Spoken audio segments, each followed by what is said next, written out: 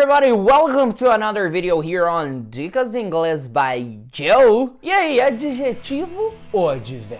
O que, que é isso?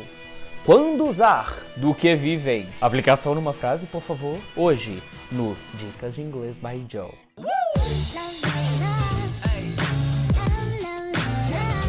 Uma das coisas que eu acho que muitas pessoas têm dúvida é com o uso de adjetivos e advérbios em inglês, que é adjectives and adverbs. Para falar a verdade, poucas pessoas sabem mesmo quando se usa um adjetivo, para que que serve, qual a posição e quando se usa um advérbio. Muitas pessoas nem sabem o que é um advérbio. Então hoje eu quero destrinchar isso daí para você, para você realmente aprender aqui com o Joe, alright?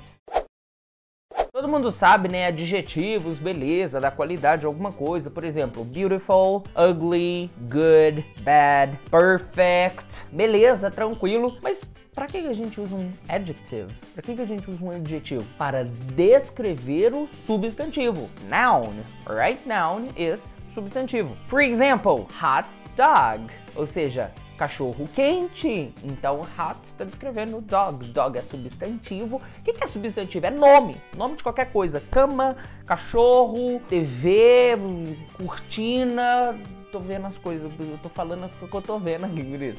Então são nomes e adjetivo é o que descreve. Bonito, feio, alto, baixo, magro, longo, grande, I don't know, alright? Só que no inglês a gente tem uma regrinha que o adjetivo ele tem que vir antes do substantivo, ok? Salvo quando você tem to be. Tipo assim, my cell phone is new, ou seja, meu celular é novo. Aí eu coloco is, aí sim o adjetivo vem no fim. Mas se não tiver is, meu querido, minha querida, celular novo é new cell phone. Alright? Então o adjetivo, primeira coisinha, o adjetivo vem antes do substantivo e ele descreve a palavra, descreve o substantivo. Celular é o quê? New. A cidade é o quê? Big. Então vai ficar big city. Beleza, tranquilo. Só que aí vem o advérbio e o próprio nome já diz. Adverb. É como se fosse um adjective, só que junto num verb. Ou seja, se o adjetivo eu uso para descrever o substantivo, o, a, o substantivo, essa foi Ai, que burro, dá zero pra ele.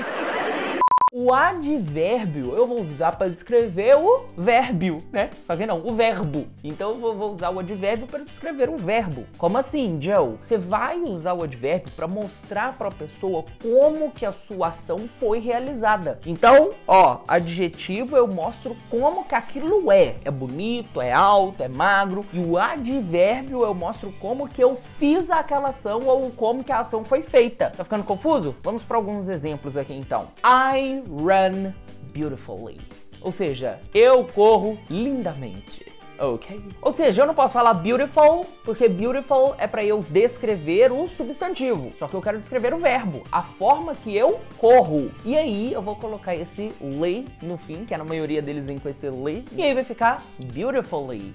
Alright? Ela cantou a música muito bem. She sang the song nicely. Nicely. Coloquei esse li no fim, que o nicely tá descrevendo como ela cantou a música, beleza? Você viu aqui? She sang the song nicely. E aí tá descrevendo como ela cantou. Agora se eu quero falar, ela é uma cantora boa. She's a nice singer, ou seja, nice singer. Nice está descrevendo singer e aí não tem LY porque singer não é verbo, ok? Tem algumas exceções, Joe? Tem, temos exceções. Por exemplo, a palavra fast, alright? She runs fast. Ela corre rápido, rapidamente, mas não vai ser fastly, vai ser só fast, ok? E tem também os que a gente chama de irregular, por exemplo, good. Eu não vou falar goodly, eu vou falar well, alright? Very well, e não very goodly. She speaks English very well. Ela fala inglês muito bem. Não pode ser she speaks English very good, porque good é para descrever algo